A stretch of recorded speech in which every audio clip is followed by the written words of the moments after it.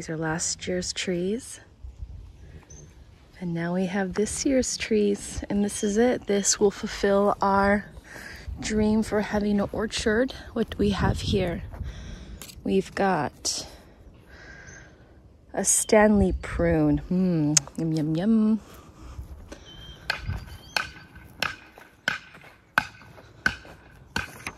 Prune. Claude Violet Claude Prune, or the Queen Claude Violet Prune. Mmm, yum, yum, yum. Do we have over here? Oh, persimmons. Yes. Miam, miam. Miam, miam, by the way, means yummy, yummy in French. It's just a way of saying mmm.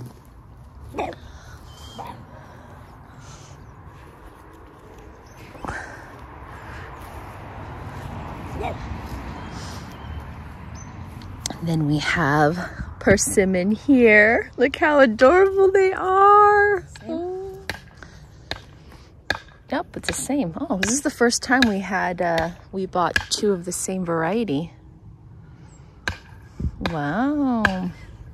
And then over here, we have got a Cox orange apple. That's gonna be interesting. Color's gonna be nice. Take these off for Justin. And then over here is another variety of apple. The raining, the rennet. I forget what rennet is. Raining, white raining variety of Canada, white rain of Canada. I don't know, but that is, wow, cool. Oh, we got another prune. Oh, was that a plum over the other side? Yeah, those are plums over there, and oh. these are nectarines. Ah, nectarines. Okay. I'm... And nectarina. This is the first time we bought two of the same variety. So we have the same persimmon variety, and we have the same nectarine variety. Medium to large, round fruit, yellow at first, orangey red when ripe, astringent, October through November.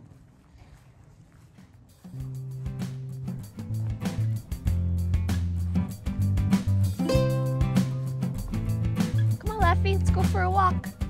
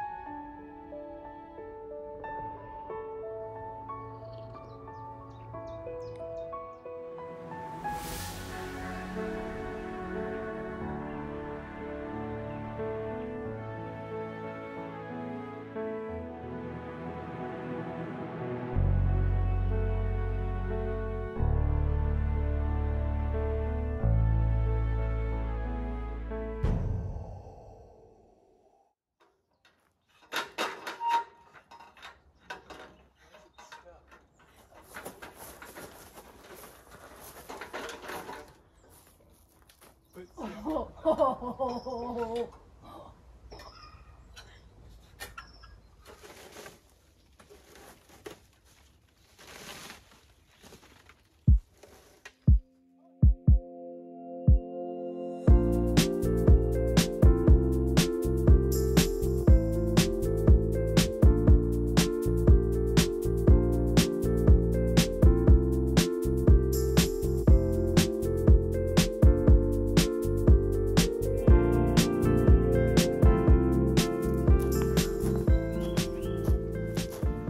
Let's have a little sit down, shall we?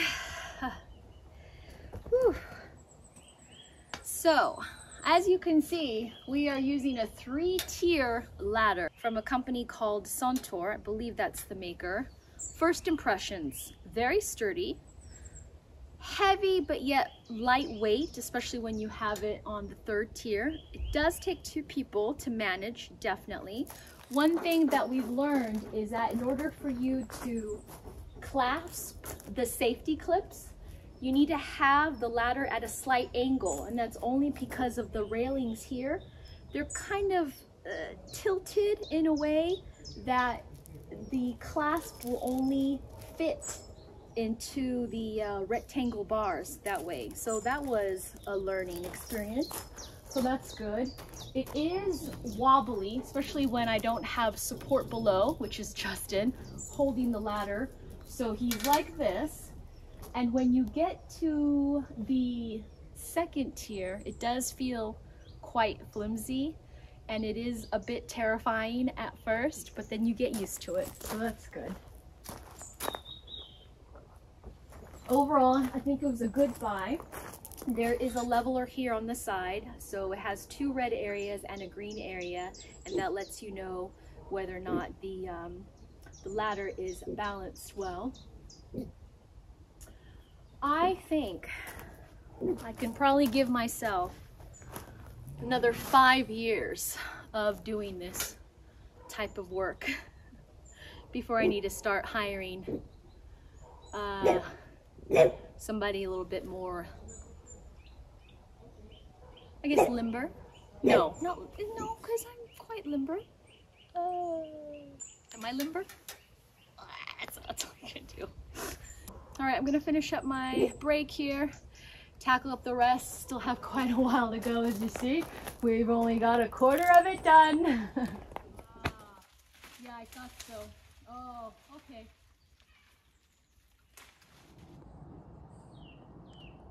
This is the progress here.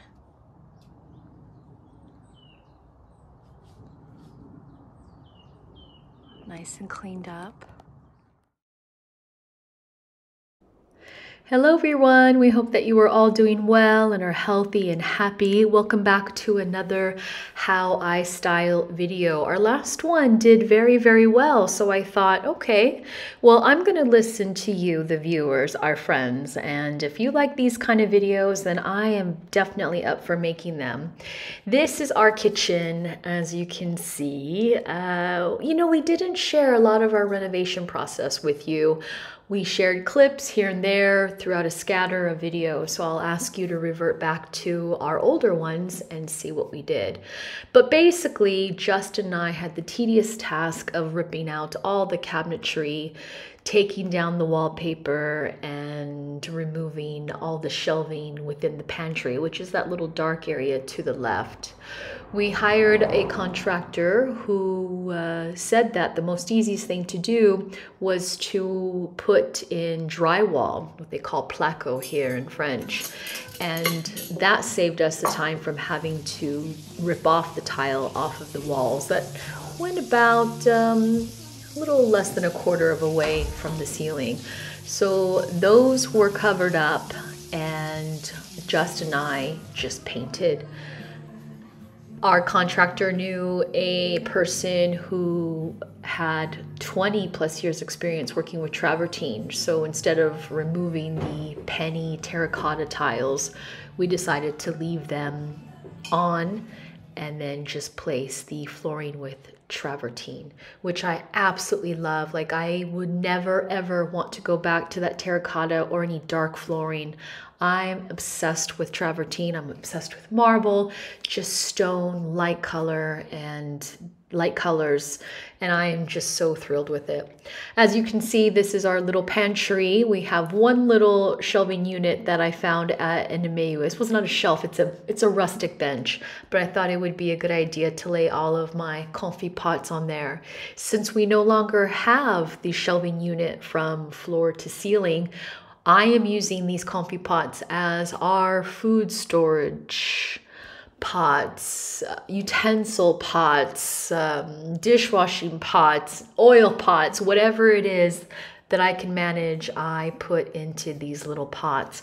Now, what I love about having just this commode here is that it really limits me from bringing in things from the grocery store. I tell you, when we had the floor to ceiling shelving, it felt like I was becoming a little bit of a pack rat when it came to food.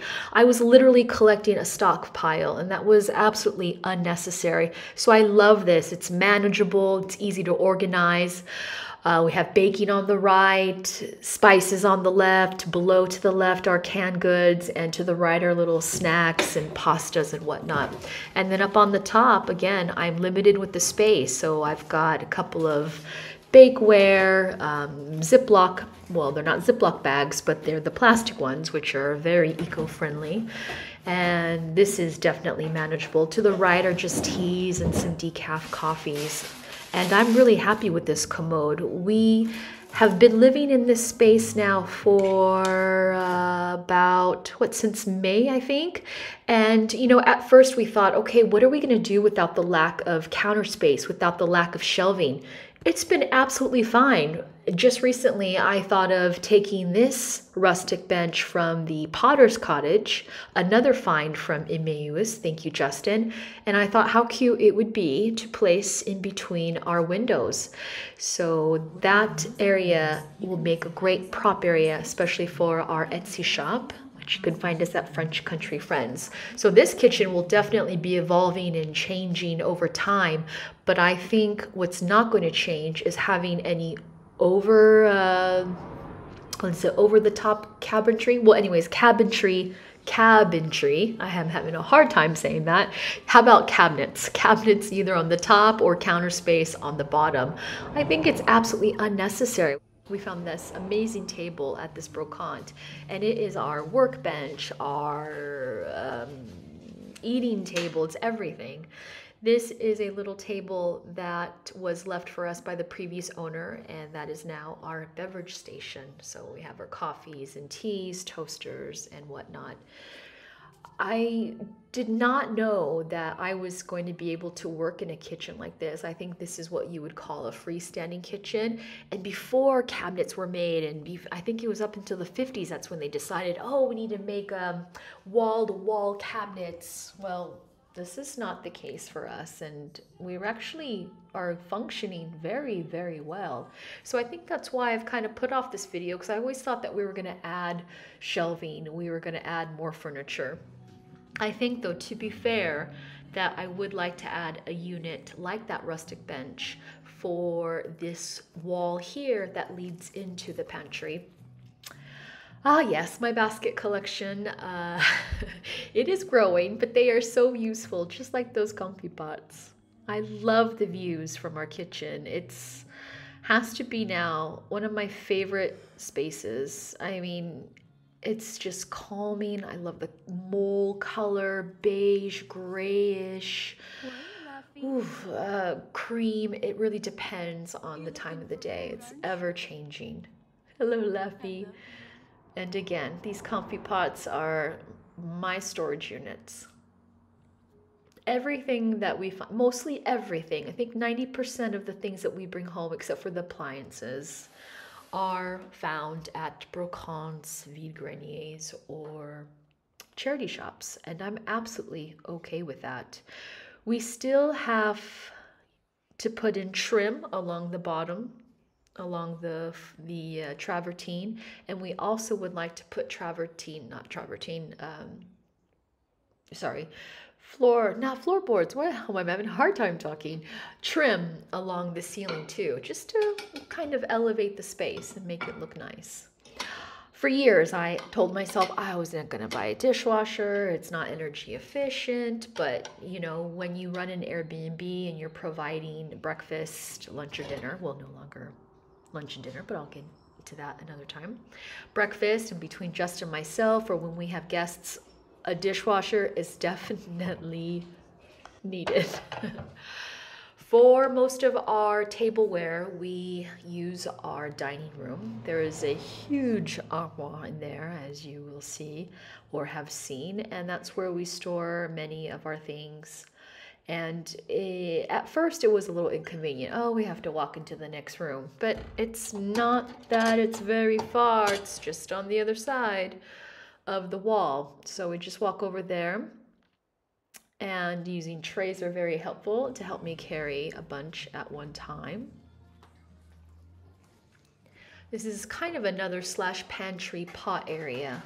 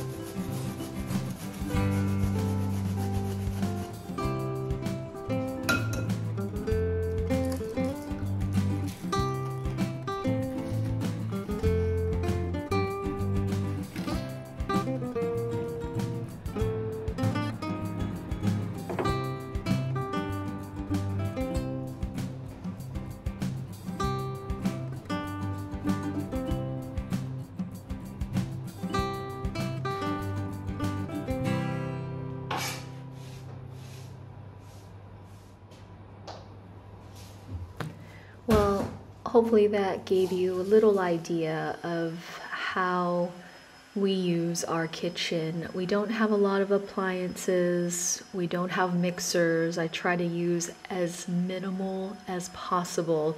For example, the little salt jar I was using to crush walnuts. I mean, you know, and instead of a blender, I'm using a fork. Um, so yeah, everybody, thank you so much for joining us in today's video and taking a look at our kitchen. I would love, love to know if this is a type of space that you can see yourselves working in. What kind of kitchen do you have and is it practical for you? Do you find that the more space and nooks and crannies that you have, that the more things you fit inside of those spaces? Let me know, please, in the comments below. God, fall is here. You can smell it in the air. You can see it in the color. Loving, loving the changes. I wish you all well. Have a great, great Friday and a rest of weekend. And I look forward to seeing you in the next video. Goodbye, friends. Au revoir.